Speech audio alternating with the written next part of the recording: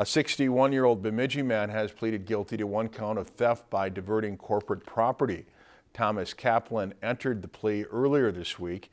Kaplan was scheduled to go to trial on March 20th on charges of embezzling $200,000 from his former employer, American Door Company. That company notified police of their embezzlement accusations in January of 2014. Sentencing for Kaplan is set for Thursday, April 27th.